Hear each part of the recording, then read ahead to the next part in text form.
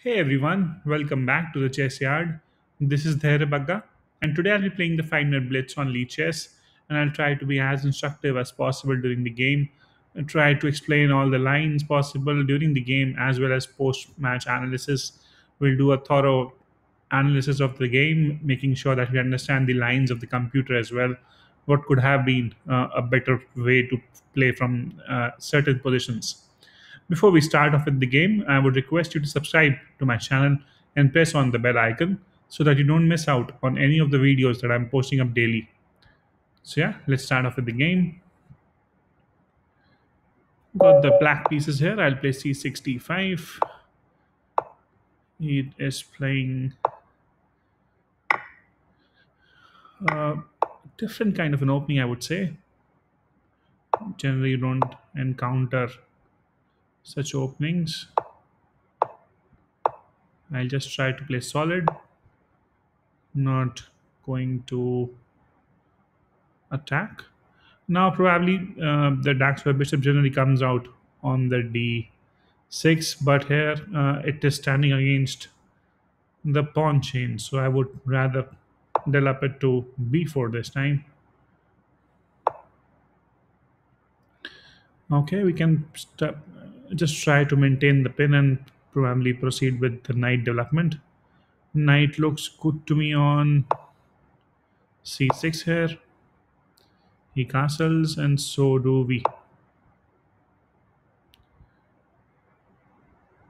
So both the sides have developed the minor pieces. This dark square bishop is a bit uh, inactive there for my opponent. You will have to find a good square for it. Uh, if I take on the knight, he can probably take back with the pawn, and that maintains his pawn structure in the center. So I'll try to avoid that.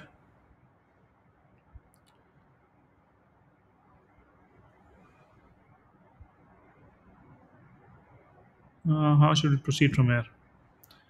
I think I can go ahead with the knight exchange.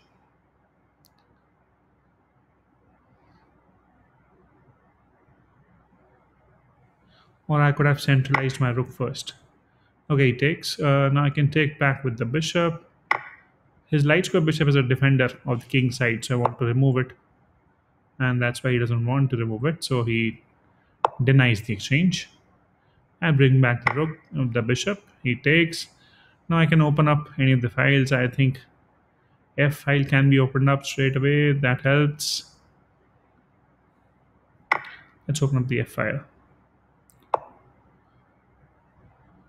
Uh, now it's sort of a close situation. I think uh, the knight should be helpful, but before developing the knight, I would like to bring on the rook on c8 and bring back the bishop on a central position to d6. He will probably try to exchange the bishops now, which we should be okay with. I'll bring back the knight, trying to root it. Gives a good square. You're attacking e3 for now, which probably he will defend. If he does, what's the follow up from here?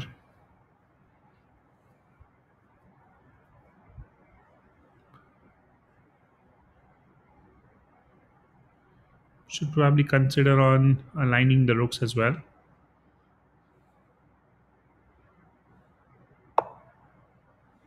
Oh, uh, is that a mistake? No, it's not because if I take on, he takes the pawn and that gives a check as well. So I think it's a chance to probably get the queen on an active square as well. That was a nice move from his side. Generally, could have easily defended the pawn, but he left it open. Nice move. I can probably push the queen from here by moving the knight. Have to be a bit careful here because the queen is on the diagonal to with the bishop, so have to be a bit bit careful with that. He goes queen back. Probably I can also. Uh, is there some active square for the queen here? I'll just remove it from the diagonal. Okay, he's trying to open up things because, of course, he has rook aligned in the center. Of course, if he takes, that's a problem, so I have to take here. No other option. He takes with the rook.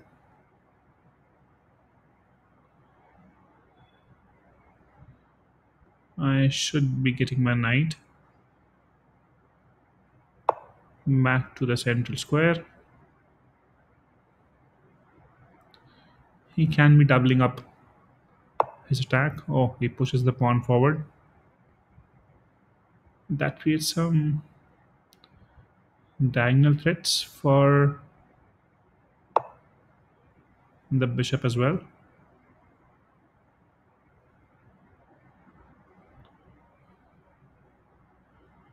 Probably now just move the queen away from here.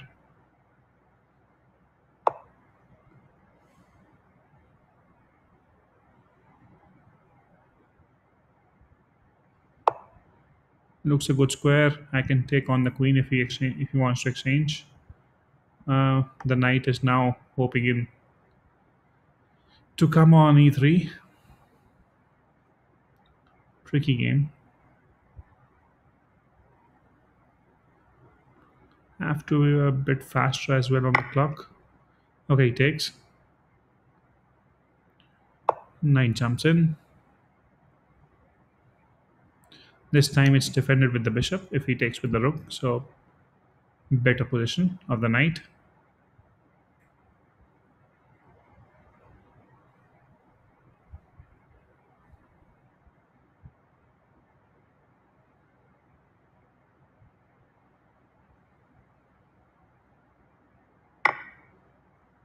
Despite that, he takes. I take back.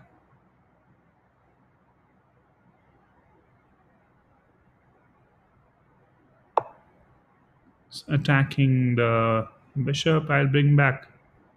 Or just plant a rook behind. Now let's bring back. Safer option.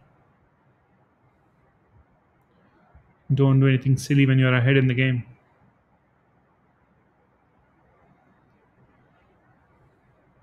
That's an isolated pawn, so should not be much of a problem. Let's put rook in front of the bishop. He pushes the pawn forward. Rook to c6. Ah, I left the rook. It's okay. I can take. How is he saving this game? I think it's mate. Only queen can come in between now. And he resigns. Yep, he tried to it from there. I have not played the rook maybe, but yeah, good enough at the end. So yeah, let's analyze the game quickly once. Yeah, this rook move was bad. Apart from that, I think the game was pretty solid. Uh, we started off with started with c4 and I responded with c6. So whenever I'm playing black, I'll play c6 d5. That's the standard opening I use. He played knight to c3. It's kind of a old Sicilian setup from uh, from white, I would say. Generally, black plays like that and then uh, I play d5. He takes, I take back. Changes happen uh, of the for the pawns, and he plays b4. Then I develop the knight to f6, defending the pawn. He plays g3, trying to develop his bishop from uh, from g2, and probably then knight to f3, and then castle. A solid structure. I develop my bishop on f5. He brings the bishop to g2. Now pawn e6. He plays center pawn to e3 now. As I explained in the game, uh, generally the that's where bishop comes on the d6 in these kind of setups. But since it's against a pawn, pawn chain and won't be very effective, I use it to pin the knight.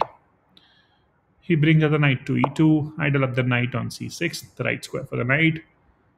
That's kind of a basic development structure that you are looking forward to. The development is, of course, not complete yet because castling is pending, but that's how your setup uh, setup should be and probably it's controlling everything you develop the minor pieces uh, properly and if you see there is no slight advantage to black here as per the valuation bar so uh, you're doing good in development he castles and so do i. Now the development is stage is done. Uh, so opening has been played pretty fine. That's the whole part of learning of opening and working on it. So that's done one part. And now we move on to middle game and he starts off with knight to f4 yeah i was thinking in the game as well to bring my rook to c8 first because uh, it's an open file so always helpful but i played knight to e4 he captures i take back. And then he plays f3 now playing f3 is really weakens up your king side uh, structure of pawns so that's helpful. I brought back the bishop on g6 he takes with the knight. I had a couple of options to take from h h7 or f7 i went with f7 the idea being opening up the f5 uh, sorry for i think trackpad messed it up uh, we'll go back. Yeah i took on with the f file f7 the idea being opening up the f file always helpful in attacking because uh, h file could have been helpful if i'm not castling. I wanted to play aggressive from here. Now and then he played f4 i played rook to c8 he gets to push the bishop backwards by playing a3 of course i can bring back but if i bring back the bishop he'll probably uh, play b4 here and then I have again to retrieve my bishop. Uh, of course, if I bring on the c7, it's, it blocks my rook's uh, uh, file as well. So I have to bring it to b6. So I didn't want him to develop on my moves basically. So I bring back the bishop on d6. He develops the bishop. Uh, now finally on d2, his dark square bishop came out very late in the picture. That's sort of an advantage with the London system if you're playing your dark square bishop gets developed first. So always helpful. Uh, I have explained the London system in one of my previous videos. I will just place the link as well so that you can check that out. Now I played knight to e7. He uh, tries to block the open file by placing bishop on c3. Always now this bishop is going to either diagonal, but for that he has to break the center so that his pawn gets dislodged from here and that's when his attack would be helpful. I played knight to f5, trying to attack uh, on e3, and yep, he played the. Uh, I think that, that was the best move. Uh, yes, computer suggesting that you can place the rook on the e file, always helpful. But yeah, that was a tricky move, I would say, uh, what he played because his idea was simple. If I now take on the pawn, he can take, and after I have to now move the king, no other option, he gets to win my knight as well and this way he's taking a lot of advantage in the game. So I think I was really impressed with this move. Uh, really well played. So I saw that uh, and I played queen to f6 here. He plays rook uh, rook from a to e1. And now I try to kick the queen away. But yeah, that puts my knight on sort of an inactive square. He now goes back to d1 I bring back the queen on e7 and he tries to break the center open. I capture the pawn, he takes with the rook. Here I played knight to f5. Yes, I was thinking that he can double up the rooks now. That could have been a very nice move from his side, but rather he chose to play pawn d5. That gives opens up the diagonal for the bishop and queen. So I give him a check first. Uh, he moves away and now I got a square. So I just moved my queen also away from the thread because if I don't, probably he can capture on the pawn with his rook, uh, and that puts a lot of pressure on the queen. So I first move the queen away. He takes with the rook here, and now I play uh, knight to e3, and he takes, and uh, that was probably the option remaining for him. I take back with the bishop uh, computer suggesting that yep his pawn is stronger and white is having a slight advantage so far now he plays uh, rook to e1 the idea being uh, kicking the bishop away from there i bring back the bishop on the c file Uh, he brings now the bishop on e5. I place the rook in front of it so it doesn't move. He plays pawn to d6 and here I played the rook. My I probably just I'll be honest, I missed the bishop diagonal, uh, but uh, more that was not a threat. Actually, the threat was queen uh, to a4, and then probably I have to maneuver my pieces in a smarter way here. Uh, otherwise, I'm it can be very tricky. So he rather chose to just take the rook, and that was the blunder of the game. Uh, and I just take with the queen, and that's mate and like two from here at max because yep he can place his queen in between then I can take on the queen and then the rook final piece that can come in between. The two diagonals are blocked to which the king can go. So that's mate I hope you like the video. Uh, something to be learned from it. Um, and please keep watching and sharing and uh, enjoy the videos. Thank you so much for your time take care. Bye bye